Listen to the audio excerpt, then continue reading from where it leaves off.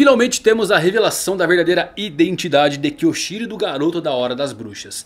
A história vem avançando para o futuro e nas páginas desse capítulo temos diversos segredos escondidos que talvez você deixou passar. As referências à lua são o ponto chave aqui e talvez você não saiba mas antigamente Oda desenhava as fases da lua de modo que era possível contar a passagem do tempo dentro do mundo de One Piece, exatamente. Qual o mistério por trás disso? E mais ainda, quando fomos informados que Marineford, aquela guerra lendária, pareceria um passeio no parque, nos perguntávamos como isto seria possível. E eu digo para vocês, meus amigos, que a maior batalha já pode ser vista. Exatamente. Quer saber qual estratégia vai ser utilizada? Os planos que foram traçados e os segredos da lua de One Piece?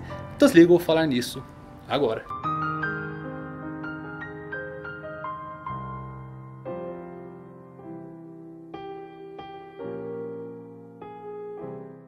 Fala galera, Evandro Fusari, Evandro com mais um vídeo pra vocês, como vocês estão? Espero que todos estejam muito bem, One Piece 973, que capítulo meus amigos Apesar de já colocar algumas coisas que vários fãs já tinham como quase certeza Como por exemplo a verdadeira identidade de Kyoshiro a forma como ele se transforma nesse personagem, como surge a persona de Kyoshiro é deveras interessante. Fato curioso que o anime deu spoilers do mangá. Eu acho que é a primeira vez que isto acontece. Já vimos em aberturas dos animes alguns personagens que seriam inseridos mais futuramente aparecendo. Mas esse spoiler de realmente confirmar o nono retentor ali de Oden como sendo Kyoshiro é um fato que eu acho que eu nunca vi acontecer. Talvez isso passe despercebido por grande parte das pessoas e só vai saber quem analisar um pouquinho mais a fundo. Mas mesmo assim é uma coisa bem interessante e prova como a equipe de produção está sempre trabalhando ali diretamente ligado ao Oda. Mas... Bora lá, antes de eu falar, aproveita para se inscrever se você ainda não se inscreveu. Escritama Galáctico, dispara o like. Bora lá agora descobrir todos os segredos de One Piece 973.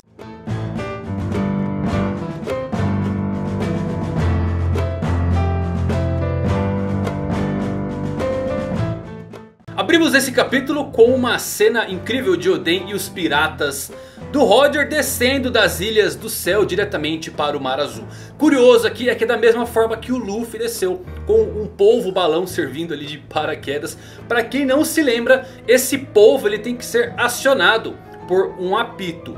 Vimos tão pouco de Roger lá em Skypiea, mas quem deve ter acionado o polvo balão pode ter sido o próprio Gunfall. Bom, Oden está levantando Momonosuke no ar e dizendo a ele e a Hiyori que o mundo é tão grande que mesmo que você esteja olhando ele de tão alto no céu você não consegue ver o seu fim. É uma visão bela que eles nunca poderiam contemplar dentro de Wano. Temos algumas cenas de interação com Oden perguntando a Momonosuke qual seu tipo favorito de garoto e Ray dizendo que era cedo demais para ele tocar nesse assunto. Mas já sabemos de onde vem aquelas intenções maquiavélicas com Nami e Robin quando o Momonosuke as abraça. Oden também está ensinando a Momo algumas técnicas de espada e com isso pulamos de Oden já retornando da sua jornada com Roger. Já no seu castelo dizendo para seus retentores que o Ano e Zou estão ligados por laços profundos. Se acontecesse algo, Zou era o melhor lugar para eles irem. Curiosamente, meus amigos, já é meio que profetizado que a tribo dos Minks uma hora terá que se mudar da ilha de Zou quando Zunisha por fim terminar a sua caminhada. E é quase certeiro que Momonosuke deu ordens a Zunisha para ir em direção ao ano. E ele também deve saber qual a verdadeira punição do elefante. Porque Miyagi, ao perceber que o Momonosuke entendia, Zunisha ficou muito curioso para saber qual era o segredo daquela caminhada eterna.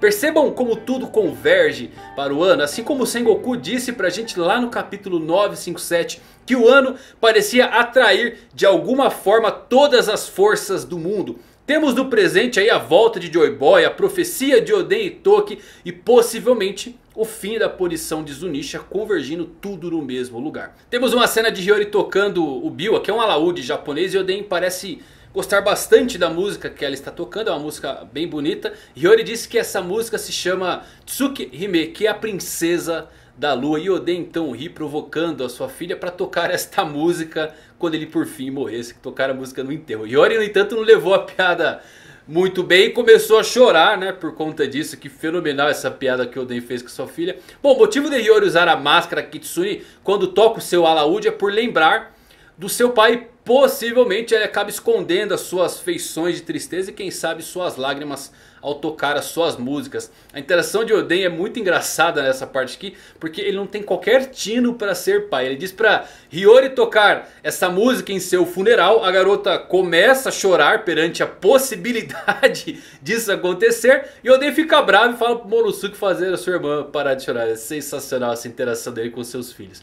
Bom, logo após a morte de Oden, vemos que os retentores acabam sendo caçados pelos subordinados de Orochi e Kaido. É interessante que eles conseguiram pegar algumas armas graças a Ninja. Shinobu que está dando auxílio na sua fuga. Ela acaba perguntando a Kinemon se ela pode ser considerada uma verdadeira vassala ali do, da família de Oden, da clã Kozuki. É uma pergunta que acho que não deveria nem ter sido feita por ela. Porque se ela já se sente parte da família, ela já é. Seu coração e a sua alma são um com eles. E nesse meio período de fuga dos retentores temos Oda brincando mais uma vez com aquele lance do traidor. Quando podemos ver como surgiu a grande rivalidade entre Inuarashi e Nekomamushi. Que diga-se de passagem são dois meus personagens favoritos dentro da série The One Piece.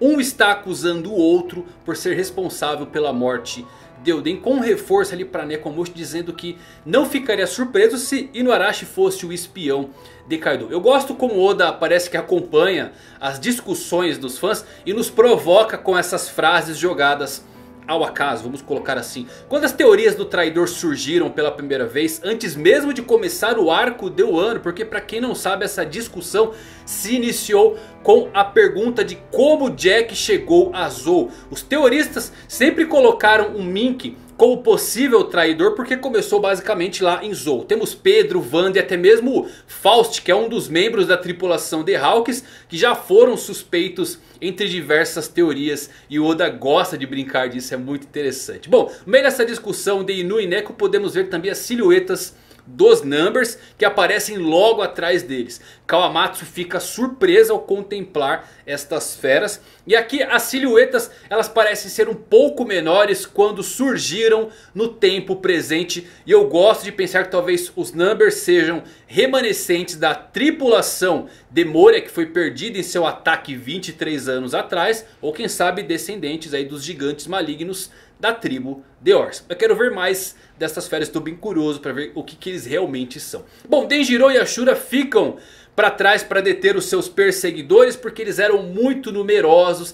E esse pequeno quadro deles parando nos fornece uma grande explicação de por que eles não foram jogados no futuro junto com Kinemon. Eles atrasaram a perseguição para o próprio King chegar ao castelo e salvar Lady Toki. Mudamos então para uma cena onde temos Kaido que já chegou ao castelo de Oden. E podemos ver a silhueta de King que está ali admirando as chamas do castelo. Kaido pega Morosuke pelo pescoço e está prestes a jogá-lo da torre do alto do castelo. E temos um diálogo bem interessante com Kaido sufocando Momo enquanto diz que o seu pai era um senhor tolo. E com o Monosuke morto, todo o clã Kozuki também chegaria ao fim. O Monosuke acaba se lembrando das palavras que a sua mãe diz e acaba gritando que seu pai era um grande homem. E ele um dia também iria ser, iria governar o país de Wano. Mantendo uma fronte ali forte, sempre encarando Kaido, olhando nos seus olhos. E mesmo que Momonosuke aqui nesse ponto está em lágrimas,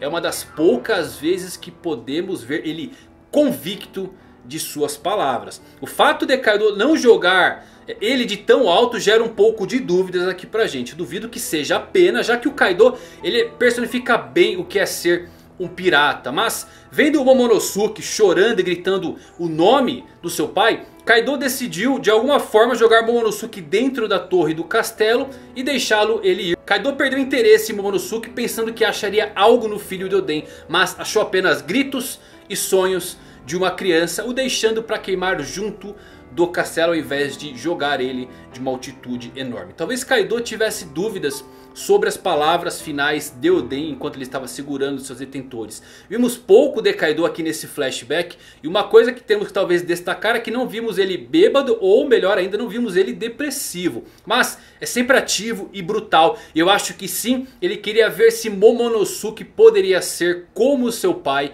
algum dia e ele não conseguiu ver isso nos olhos de Momo. Isso até nos faz pensar que mesmo que Momonosuke consiga de alguma forma ficar adulto, sua única chance de fazer algo com Kaido é utilizando sua Akuma no Mi. Fora isso, ele não tem qualquer tipo de habilidade de espada, não tem haki, não tem experiência. Se Momonosuke voltar a ser um adulto, pensem comigo, ele seria uma pessoa de 28 anos com cabeça de um garoto de 8 anos. Eu não duvido que ele lute como um dragão. Já foi prenunciada essa luta entre Kaido e Momonosuke por conta desses frutos. Mas não vejo ele derrotando Kaido. Apenas o aquecendo para o evento principal contra Luffy. E aí sim pode ser que os dois deem o golpe final junto ali para finalizar realmente Kaido. Então os detentores enfim chegam ao castelo e vemos Toki e seus filhos. E temos aquelas cenas já mostradas quando Kinemon conta aos chapéus de palha lá nas ruínas do castelo de Oden. Toda a história do grande Kozuki Oden e o momento em que eles são enviados ao futuro por Lady Toki. Kawamatsu consegue fugir segurando Hiyori em seus braços, escapando pelo canal. E aqui vem a parte muito curiosa. Toki escapa do castelo de Oden. Ela não morreu em suas ruínas. As pessoas da cidade olham a visão do castelo toda envolta em chamas de longe. E uma curiosidade aqui que talvez você não tenha percebido é que aquela vovó que apareceu nesses pequenos quadros é a mesma que Shutemaru queria matar no presente quando ele ainda era um bandido da montanha. Naquele ponto onde ele enfrenta Jack. Uma coisa bem curiosa. Bom, temos Toki lembrando da sua conversa com Oden, onde é sim confirmado que ela viajou no tempo para contemplar os eventos de ano que aconteceriam há 20 anos daquele momento. No presente onde temos Luffy e o dia em que o mundo será virado de cabeça para baixo. Ela fugiu do passado, ela fugiu de algo que aconteceu no século perdido e sabia para onde ela deveria ir, em que tempo deveria ir. Mas conheceu Oden durante a sua jornada e se apaixonou por ele. Então esperar 20 anos ao lado da sua família não seria de todo ruim para ela. Toki é um completo mistério. Quem sabe o próprio Joy Boy original não enviou. E eu não sei muito bem se eu consigo acreditar que ela morreu aqui. Porque ela é a chave de diversos mistérios. E pode até mesmo nos contar algo sobre Insama. Toki não é mostrada sendo morta. E Oda colocar isto fora das telas pode significar algo bem interessante que volte a aparecer no futuro. Bom, ela profere a tão famosa profecia. Você é como a lua que desconhece o amanhecer. Se há um desejo tão ardente que deve ser cumprido, será quando, por fim, nove sombras forem tecidas juntas por 20 anos de noites de luar. Só então você entenderá o esplendor do amanhecer. Percebam o quanto a lua é citada aqui em Wano. A música de Hiyori, a princesa da lua. A profecia de Toki. O seu kimono com luas crescentes. O nome dos clãs de Wano todos ligados com a lua. Uma coisa que talvez você não saiba e é muito legal isso é que o Oda disse em uma entrevista muito antiga que a lua desempenharia um papel muito importante na história de One Piece e ele definitivamente não estava brincando. Durante os primeiros capítulos, logo no começo da série, o Oda sempre desenhava a lua, seja nas páginas do mangá ou nas capas dos capítulos. Inclusive quando ele não desenhava, ele dava ao capítulo o nome de determinada fase da lua. E com isso era possível utilizar a lua para criar um período de tempo estimado para as aventuras do Luffy. Isso era muito legal de ser feito. Mas com o tempo essa ideia do Oda parece ter sido aposentada. Ele parou de atualizar isso e não é mais possível utilizar a lua como uma escala de tempo. E sabem quando o Oda parou de utilizar a lua como referência?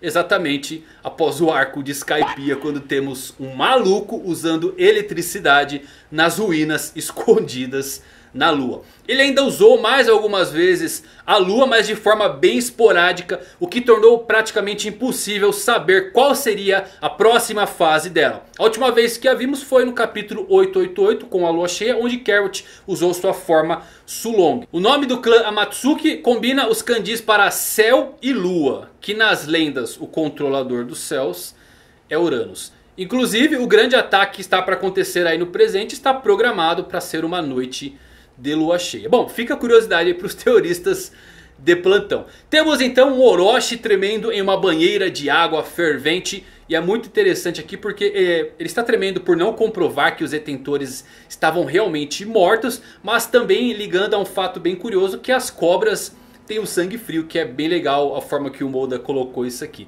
Bom, chegamos então na revelação mais interessante de todo o capítulo, que por mais que grande parte dos fãs já apostassem nisso, eu era um deles, não deixou de ser surpreendente como foi confirmado que Denjiro é Kiyoshiro e o garoto da Hora das Bruxas. Ele simplesmente mudou suas feições pelo ódio e pela raiva de tudo que aconteceu com Oden. Aquela era a sua face de fúria.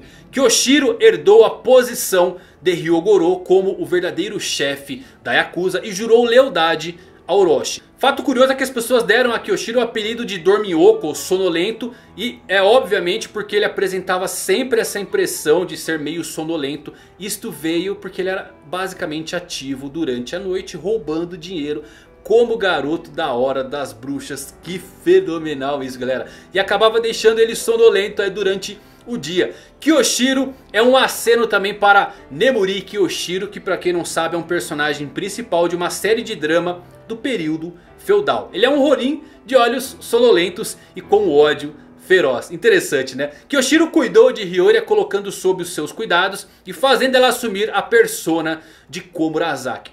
Olha só, vamos lá. A conquista de Denjiro é nada menos do que lendária. 20 anos se curvando e servindo ao homem que brutalmente matou o seu mestre e planejou contra todo o país. É exatamente como o conto dos 47 runins. Seja humilhado e desonre o nome do seu mestre apenas para baixar a guarda do seu oponente. E Denjiro está tão furioso que o seu rosto chegou a ficar deformado. De todos os retentores, Denjiro ele era o mais inteligente entre todos eles. Sabemos que ele foi um grande malandro quando ainda era muito jovem. E ele usou isso contra o próprio Orochi que por ironia do destino ascendeu ao trono enganando pessoas. Orochi foi a razão da queda de Oden. E no mesmo sentido Denjiro será a razão para a queda de Orochi. Como Kyoshiro nos tempos atuais ele é o samurai mais respeitado de Wano, tem diversos subordinados sob o seu comando. Ele tem a confiança de Orochi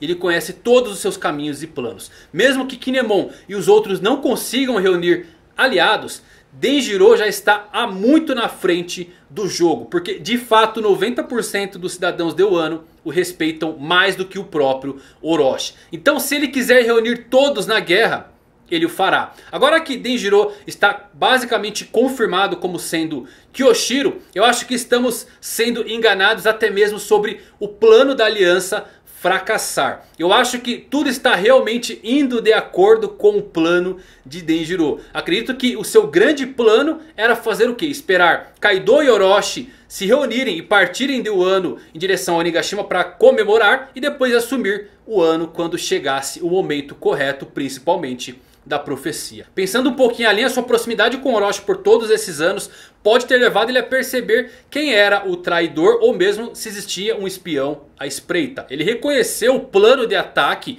ao pegar um dos cartões de Kinemon desenhado ali convocando todos os samurais para se encontrarem no Porto Rabu. Ele sabia do ataque. Ele pode ser a razão pela qual houve uma súbita mudança de planos onde poucas pessoas apareceram no ataque. Isso é interessante.